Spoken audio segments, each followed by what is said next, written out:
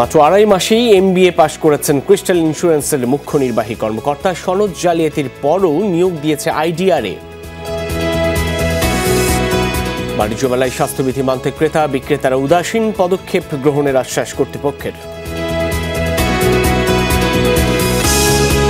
বাংলা বান্ধা বন্দরে উপেক্ষিত সতর্কতামূলক ব্যবস্থা, অবাধে চলাচল করছেন বিদেশি ট্রাক চালকরা, তদারকি বাড়ানোর আহ্বান।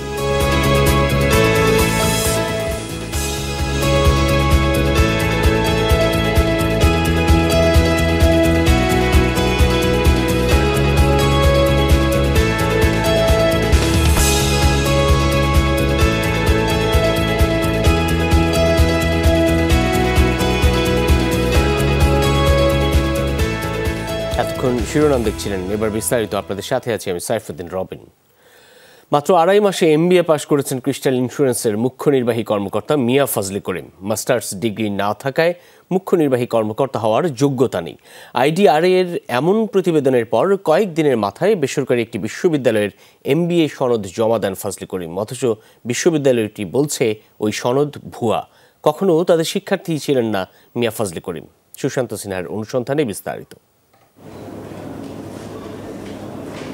বিমা কোম্পানির মুখ্য নির্বাহী হতে হলে মাস্টার্স পাস করতেই হবে। তবে বিপত্তি বেঁধেছিল ক্রিস্টাল ইন্স্যুরেন্সের মুখ্য নির্বাহী কর্মকর্তা মিয়া ফজলে করিমের নিয়োগের সময়। দু হাজার আঠারো সালের ২৬ সেপ্টেম্বর, বিমান নিয়ন্ত্রক সংস্থার তদন্ত কমিটির কাছে নিজের মাস্টার্স পাস সংক্রান্ত কোনো তথ্য দেননি মিয়া ফজলে করিম। এর ঠিক আড়াই মাস পর একই বছরের এগারোই ডিসেম্বর হাজির করেন এমবিএ পাশের সনদ। কুমিল্লার CCN university of science and টেকনোলজির সনদ।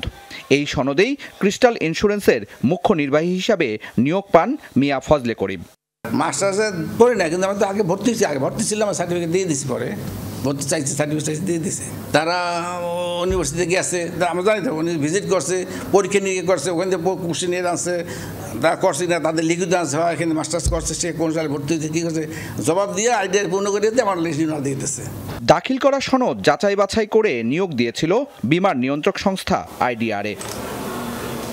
তবে প্রশ্ন ওঠে, মাত্র আড়াই মাসের ব্যবধানে কি করে এমবিএ সনদ পেলেন মিয়া ফজলে করিম? যমুনার অনুসন্ধান শুরু সেখান থেকে। সিসিএল ইউনিভার্সিটির ওয়েবসাইটে গিয়ে ক্রিস্টাল ইন্স্যুরেন্সের মুখ্য নির্বাহী কর্মকর্তা মিয়া ফজলে করিমের কোনো ছাত্রত্বের প্রমাণ মিলল না। তার এমবিএ পাশের সনদ যাচাইয়ের জন্য আমরা সরজমিনে যেতে চাই কুমিল্লার কোটবাড়িতে অবস্থিত বিশ্ববিদ্যালয়টিতে। কুমিল্লার বেসরকারি বিশ্ববিদ্যালয় কর্তৃপক্ষ মিয়া ফজলে করিম নামে কোনো এমবিএ ছাত্রের অস্তিত্ব পায়নি তাদের বিশ্ববিদ্যালয়। মিয়া ফজলে করিম আমাদের আইএমএস আমরা চেক করে দেখেছি। তিনি আমাদের আর কি এনলিস্টেড স্টুডেন্ট না। আমাদের বেশিরভাগ ইয়া তথ্য যা কিছু আছে সবগুলো আইএমএস এ এন্ট্রি করা থাকে। এখন অনলাইন ভেরিফিকেশনে আমাদের ইয়ে আছে। তো সেটার ভিতরে নাই আর কি ওনার নাম। অর্থাৎ দাখিল করা সনদটি জাল। তাহলে আইডিআরএ কি করল? তাদের যাচাই বাছাইয়ের পরও কীভাবে পার পেল মিয়া ফজলে করিমের ভুয়া সনদ, যার ভিত্তিতে তিনি একটি ইন্স্যুরেন্স কোম্পানির শীর্ষ পদে বসেছেন? সে যদি মাস্টার্স করে, তো সে এটা কি প্রত্যাশিত নয় যে সে বলবে যে আমি তো মাস্টার্স করছি, আমার আর হয়তো দুই কি তিন মাস লাগতে পারে। কথা অসত্য নয় যে আগে ভুল করলে পরের বার ভুল করব, তা তো নয়। আবার করে দেখতে পারি, ন্যায্য জিনিসটা কি যদি সম্ভব হয় বের করলাম। এ বিষয়ে দু হাজার আঠারো সালে অভিযোগ খতিয়ে দেখতে অর্থ মন্ত্রণালয় চিঠি দিয়েছিল বিমার নিয়ন্ত্রক সংস্থার কাছে। সুশান্ত সিনহা, যমুনা নিউজ, ঢাকা। করোনা সংক্রমণের ঝুঁকি বাড়ছে। তারপরও স্বাস্থ্যবিধি মানতে উদাসীন, বাণিজ্য মেলায় আসা ক্রেতা, দর্শনার্থীরা মাস্ক ছাড়াই কেনাবেচা করছেন বিক্রেতারা। কর্তৃপক্ষ বলছে, স্বাস্থ্যবিধি মানাতে সব কিছু করা হবে, মাস্ক পরতে বাধ্য করা হবে সবাইকে। এজন্য আজ থেকে অতিরিক্ত আনসার সদস্যের পাশাপাশি সহায়তা নেওয়া হবে স্কাউটের।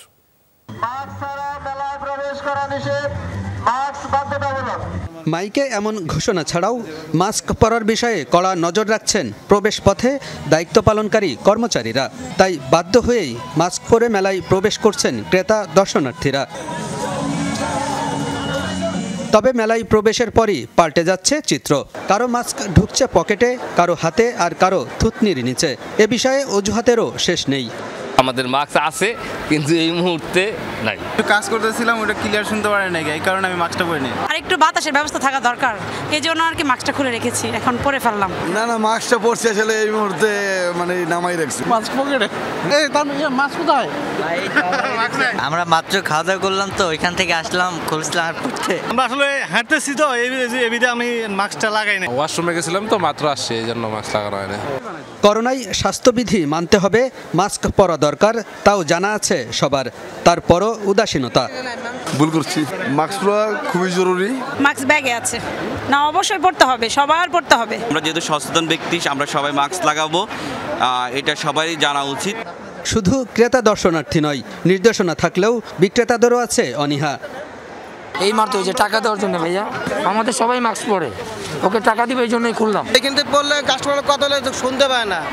এই জন্য ডাইরেক্টলি বলতেছি। বুঝে না কাস্টমার তাই মাস্কটা খুলে ফেলছে। অ্যাকচুয়ালি আমরা মাত্র লাঞ্চ করে এসে বসলাম তো এর জন্য। নাকটা একটু সমস্যা ছিল তাই খুলছিলাম আবার লাগাইতে অনেক কাস্টমার আছে জন্য লাগাইতে পারি না মাল দেখাইতেছি এই জন্য নিচে উপর হয়ে কষ্ট হয় এই জন্য মাস্ক খুলে রাখছি। আয়োজক কর্তৃপক্ষ বলছে সরকারি নির্দেশনা মেনে সবাইকে স্বাস্থ্যবিধি মানতে বাধ্য করা হবে। বিষয়টা আরও জোরদার করার জন্য আমরা ইতিমধ্যে আনসার, স্কাউট সহ বেশ কিছু স্বেচ্ছাসেবী সংগঠনকেও আমরা এর সাথে সম্পৃক্ত করছি এবং মানুষ যেন মাস্ক ছাড়া এই ইয়ের ভেতরে, এই আমাদের এই মেলা প্রাঙ্গণে মুভমেন্ট না করে বা মেলা প্রাঙ্গণে চলাফেরা না করে সেটা নিশ্চিত করার জন্য আমরা যদি প্রয়োজনে কঠোর হতে হয় সেটাও আমরা করব। বিক্রেতারা মাস্ক না পরলে প্রয়োজনে মোবাইল কোর্ট পরিচালনা করে শাস্তির আওতায় আনা হবে বলে জানায় কর্তৃপক্ষ।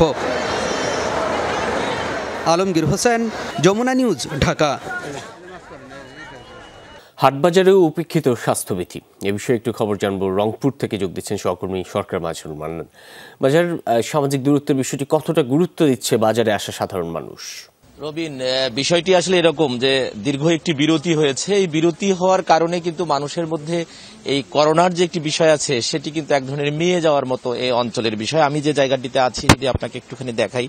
এটি হচ্ছে বলদি পুকুর নামে একটি জায়গা এটি মিঠা পুকুরের আহ, একটি গুরুত্বপূর্ণ জায়গা এবং এটি বাস স্ট্যান্ড এবং এখানে বাজারও আছে। মানুষজনের মধ্যে যে এই যে আবারও যে করোনার সংক্রমণ ঝুঁকি বাড়ছে, বিশেষ করে রংপুর রংপুর বিভাগের রংপুর, লালমনিরহাট এবং দিনাজপুরে যে করোনার যে ইয়োলোজন ঘোষণা করা হয়েছে, এটি কিন্তু অনেক মানুষই এখনও জানেইনি না যে আবারও করোনার একটা ধাক্কা এসছে। কারণ প্রচার প্রচারণা কিন্তু একেবারেই নাই বলতেই চলে স্বাস্থ্য বিভাগের পক্ষ থেকে এই অঞ্চলে। আমি একজনের সাথে একটু কথা বলতে চাই যে, এই যে এখন আবারও রংপুরকে করোনার ইয়োলোজন ঘোষণা করা হয়েছে। আপনারা এই স্বাস্থ্য স্বাস্থ্য ব্যাপারটা তো যে মাস্ক করার কথা বলা হচ্ছে না মানতেছেন না আসলে আমরা তো এই করোনা বলতে কোনো জিনিস আমরা মানে এখন পর্যন্ত বিশ্বাস করতেছি না। আগে করোনা বিশ্বাস করতাম তখন মাস্ক পরতাম বিভিন্ন মানে যেটা সরকার এয়া দিছিল সেটা মানতাম। এখন ওইভাবে তো আর কিছু নাই এই জন্য আমরা মানি না। এবং ওইভাবে মানার কোনো ইয়াও দেখি না যে বলে আমাদের মানতে হবে। এই কারণে আমরা মানি। রবিন, আসলে আপনি শুনছিলেন যে আসলে সাধারণ মানুষের বক্তব্যটা হচ্ছে এরকমই, অর্থাৎ প্রচার প্রচারণা না থাকার কারণে এই অঞ্চলে কিন্তু মানুষের মধ্যে সামাজিক দূরত্ব কিংবা মাস্ক পরিধান করা বা অন্য যে বিষয়গুলো আছে সেটা একেবারেই কম। যদিও জেলা প্রশাসনের পক্ষ থেকে বলা হয়েছে, আজ থেকে যে স্বাস্থ্যবিধি মানানোর যে এগারো দফা দেওয়া হয়েছে, সেটি তারা আইন প্রয়োগ করলে হলেও করবেন। রবিন। বুঝতে পারছি, কঠিন বাস্তবতা ধন্যবাদ সরকার মাঝের মান্নান। কর্মক্ষেত্রে অগ্নি দুর্ঘটনা ও শ্রমিক নিরাপত্তা নিরসনের উদ্যোগ কোথায়? এই বিষয়ে ব্রিফিং করছে সিপিডি আমরা সরাসরি যাচ্ছি সেখানটায়। ফলে আমি যেটা বলছি যে লজিস্টিক সাপ্লাই যেটা রয়েছে এক্সিস্টিং যে সাপ্লাই রয়েছে, সেটি কিন্তু তার জন্য পর্যাপ্ত না এই এই জিনিসগুলোর এমনকি যে জায়গাতে সবচেয়ে বেশি দুর্ঘটনাগুলো হচ্ছে, ঢাকা এবং চট্টগ্রাম, সেটি বোঝানোর জন্য এই গ্রাফটি আমি আপনাদের কাছে দেখালাম। সুতরাং সেই জায়গাটি আপনাদের মাথায় রাখা দরকার রয়েছে এবং সেটার একটা দুর্বলতা পরেও আপনারা টের পাবেন আপনাদের কাছে যখনই আসা হবে। এবং ঝুঁকির জায়গাটিতে আমরা যে জিনিসটি একটা কথাই বলা সেটি হলো যে ঝুঁকির জায়গাটিতে যে বিশ্লেষণটি ফায়ার সার্ভিস থেকে করা হয়েছিল, সেবা প্রতিষ্ঠানের ক্ষেত্রে, শপিং মল হচ্ছে সবচেয়ে ঝুঁকিপূর্ণ বিয়াল্লিশ শতাংশ শপিং মল ঝুঁকিপূর্ণ শিক্ষা প্রতিষ্ঠান বাইশ শতাংশ হেলথ কেয়ার ইনস্টিটিউট উনিশ শতাংশ, এগুলো কিন্তু গড়পড়তায় বেশি ঝুঁকিপূর্ণ অবস্থান রয়েছে, অগ্নি নিরাপত্তার জায়গাটিতে চিন্তা করবে। সুতরাং সেই জায়গাটা, এবং এগুলো কিন্তু ঘন, এগুলো কিন্তু লোক সমাগম এই সমস্ত জায়গাতে বেশি হয়। সুতরাং সেই জায়গাটা আমাদেরকে বিবেচনা করতে হবে। শুধু শ্রমিক বা শুধু শিল্প কারখানা এটি কিন্তু না। আগামী দিনের চ্যালেঞ্জ কিন্তু হচ্ছে শিল্প কারখানা শ্রমিক এবং এর বাইরে যে সমস্ত প্রতিষ্ঠানে অধিক লোকজনের সমাগম হয় বা থাকে, সেই জায়গাগুলো এবং তার ভিতরে এই শপিং মল এডুকেশন ইনস্টিটিউট এগুলো রয়েছে। হেলথ কেয়ার সার্ভিস এগুলো কিন্তু গুরুত্বপূর্ণ কনসার্নের জায়গা, যেটি আগামী দিনে নজরে রাখার বিষয়। সুতরাং যে উদ্যোগটি বিডা নিয়েছে, সেই উদ্যোগের মধ্যে এইগুলো কতটুকু কাভার হচ্ছে সেটিও কিন্তু দেখবার বিষয়।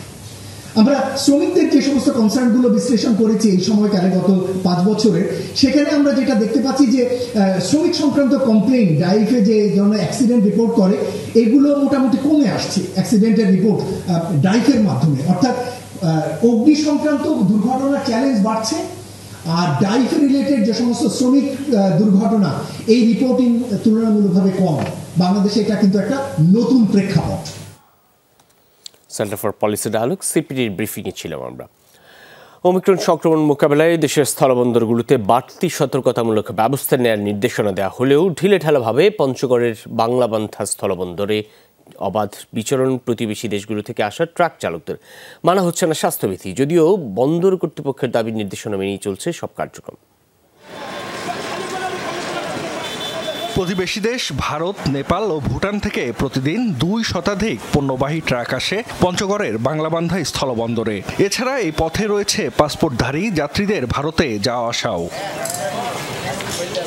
ভারত ও নেপালে আশঙ্কাজনক হারে বাড়ছে করোনা সংক্রমণ। ওমিক্রনের ভ্যারিয়েন্টের বিস্তার ঠেকাতে স্থলবন্দরগুলোতে বাড়তি সতর্কতামূলক ব্যবস্থা নেয়ার নির্দেশনা দেয়া হলেও বাংলাবান্ধা স্থলবন্দরে তা ঠিকমতো মানা হচ্ছে না বলে অভিযোগ উঠেছে। মেডিকেল টিমের কথা ফলাও করে বলা হলেও ভারত ফেরত যাত্রীদের তাপমাত্রাও মাপা হয় না। শুধুমাত্র ওপারের স্বাস্থ্য পরীক্ষার কাগজপত্র দেখেই ছেড়ে দেয়া হয়। এখানে কোনো টেস্ট ওখানে যে টেস্ট রিপোর্ট আছে বাহাত্তর ঘণ্টার মধ্যে যেটা রিপোর্ট থাকে, ওটা দিয়ে এখানে টেস্টের তো কোনো ব্যাপার না এরা শুধু পেপারসটা নিচ্ছে। প্রতিবেশী দেশগুলো থেকে আসা পণ্যবাহী ট্রাক চালকদেরও স্বাস্থ্য পরীক্ষা হয় না। বিধিনিষেধ অমান্য করে বন্দর এলাকায় অবাধে ঘুরে বেড়ায় তারা। আমরা থাকি কম্পাউন্ডের মধ্যে। কম্পাউন্ডের মধ্যে থাকি না। এখন আপনাদের বাংলাদেশের কি গাইডলাইন ওটা আমরা জানি না। এখানে দেখতেছি মাস্কের কোনো ব্যবহার করে না। ইন্ডিয়ান যে গাড়িগুলো আসে তাদের মধ্যে কোনো পরিবেশ নাই। উশৃঙ্খলতা তারা কোনো মাস্ক ব্যবহার করে না। এসব বিষয়ে ইমিগ্রেশন কর্তৃপক্ষের কেউ কথা বলতে রাজি হননি।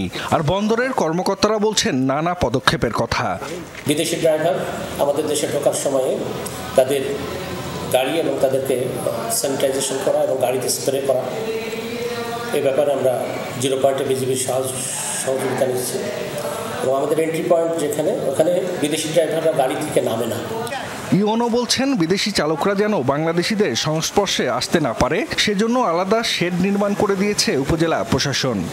এইটা শুধু দেশীয় স্থলবন্দর হওয়ায় এখানে অমিক্রন ভেরিয়েন্টের যেটা আশঙ্কা সেটা রয়ে গিয়েছে। ইতিমধ্যে আমরা সেখানে বিদেশি ড্রাইভারদের জন্য আলাদা শেড নির্মাণ করেছি তাদের জন্য আলাদা ওয়াশ ব্লকের ব্যবস্থা করা হয়েছে। স্বাস্থ্যবিধি নিশ্চিতে বন্দর এলাকায় তদারকি বৃদ্ধির কথাও জানিয়েছে স্থানীয় প্রশাসন। জাহিদ হাসান যমুনা নিউজ। এবারে জানাব পুঁজিবাজারের খবরাখবর। পুঁজিবাজারের আজকের মোটামুটি ঊর্ধ্বগতি প্রবণতা আমরা লক্ষ্য করছি। ডিসি এক্স ইন্ডেক্সে তেরো দশমিক এক আট পয়েন্ট বেড়ে দাঁড়িয়েছে সূচক, সাত হাজার নয় পয়েন্টে। ডিএসসিএস ইন্ডেক্সে দুই দশমিক তিন পয়েন্ট বেড়ে দাঁড়িয়েছে সূচক এক হাজার চারশো সাতানব্বই পয়েন্টে। অন্যদিকে ডিএসসি থার্টি সূচক দুই পয়েন্ট সাত, দুই দশমিক সাত পয়েন্ট বেড়ে দাঁড়িয়েছে সূচক দুই হাজার ছয়শো নয় পয়েন্টে। এখন পর্যন্ত লেনদেন হয়েছে চারশো পঁয়তাল্লিশ কোটি টাকা, যেখানে টোটাল ট্রেড পঁচাত্তর হাজার আটশো দুইটি শেয়ারের লেনদেন হয়েছে। যদি শেয়ারের দরদামের কথা যদি একটু বলতে চাই, যেখানে একশো তিরানব্বইটি প্রতিষ্ঠানের শেয়ারের দর বেড়েছে, একশো চারটি প্রতিষ্ঠানের শেয়ারের দর কমেছে এবং উনআশিটি প্রতিষ্ঠানের শেয়ারের দর অপরিবর্তিত অবস্থায় রয়েছে। যদি বলতে চাই, লেনদেনের ভিত্তিতে শীর্ষে অবস্থান করা কোম্পানিগুলোর কথা, সেখানে এখন পর্যন্ত লেনদেনের ভিত্তিতে শীর্ষে রয়েছে BSC Beximco green sukuk power grid fortune R A K ceramic Beximco পেনসুলা এই সব কোম্পানিগুলো লেনদেনের ভিত্তিতে শীর্ষের দিকে অবস্থান করছে ঢাকা স্টক এক্সচেঞ্জে একটু যেতে চাই চট্টগ্রাম স্টক এক্সচেঞ্জের খবরে। চট্টগ্রাম স্টক এক্সচেঞ্জে একশো চুরাশিটি প্রতিষ্ঠানের শেয়ারের দর লেনদেন হয়েছে, যেখানে আশিটি প্রতিষ্ঠানের শেয়ারের দর ঊর্ধ্বমুখী প্রবণতা লক্ষ্য করা যাচ্ছে এবং আশিটি প্রতিষ্ঠানেরই শেয়ারের দরের নিম্নমুখী প্রবণতাও লক্ষ্য করা যাচ্ছে। বাকি চব্বিশটি প্রতিষ্ঠানের শেয়ারের দর অপরিবর্তিত অবস্থায় রয়েছে। যদি বলতে চাই, লেনদেনের ভিত্তিতে শীর্ষে থাকা প্রতিষ্ঠানগুলোর কথা এপিএক্স foods run foundry foundry, apex tannery AMCL Monno fabric এই সব প্রতিষ্ঠানের শেয়ারের দর মোটামুটি আজকে শীর্ষ প্রতিষ্ঠানে, শীর্ষ দিকে রয়েছে চট্টগ্রাম স্টক এক্সচেঞ্জে। যুক্তরাষ্ট্রের বাজারগুলোই ভোগ্যপণ্যের দাম গেল বছর ডিসেম্বর মাস নাগাদ বেড়ে সাত শতাংশে দাঁড়িয়েছে। উনিশশো বিরাশি সালে পর যা সর্বোচ্চ, বাইডেন প্রশাসনের জন্য এটা বড় চ্যালেঞ্জ। ভোক্তাদের অনাস্থা বৃদ্ধি পাওয়ায় নড়ে চড়ে বসেছেন নীতি নির্ধারকরা। ধারণা করা হচ্ছে, এই পরিস্থিতি চলতে থাকলে দেশটির অর্থনৈতিক ভবিষ্যৎ কিছুটা কোণঠাসা হয়ে পড়বে। ডিসেম্বরে মুদ্রাস্ফীতির সূচক সাত শতাংশ ছুঁয়েছে। বিশেষভাবে খাদ্য ও জ্বালানির মূল্য বেড়েছে আশঙ্কাজনক হারে। উৎপাদকরা কয়েক মাস ধরেই প্রত্যাশায় ছিলেন সাপ্লাই চেইনে স্বাভাবিকতা ফিরবে। ভোক্তা চাহিদা অনুযায়ী বাড়ানো যাবে সরবরাহ। কিন্তু করোনা ভাইরাসের একের পর এক ধাক্কা এবং লকডাউনে শিপিং রুটগুলো স্থবির। বন্ধ থাকছে কারখানাগুলো। দেখা দিয়েছে দক্ষ জনবল সংকটও। অর্থনৈতিক বিশ্লেষকরা বলছেন, মূল্যস্ফীতি দুই শতাংশে নামিয়ে আনতে দুই হাজার বাইশ সালের ডিসেম্বর পর্যন্ত সময় লাগবে।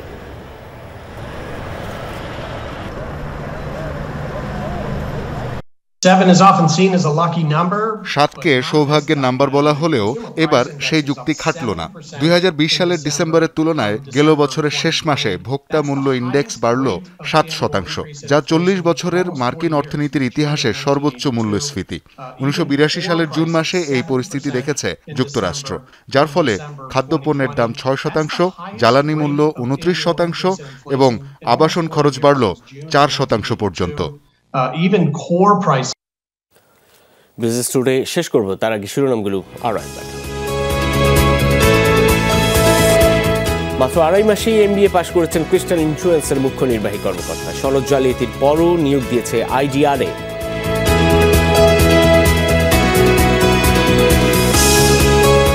বাণিজ্য মেলায় স্বাস্থ্যবিধি মানতে ক্রেতা বিক্রেতারা উদাসীন পদক্ষেপ গ্রহণের আশ্বাস কর্তৃপক্ষের।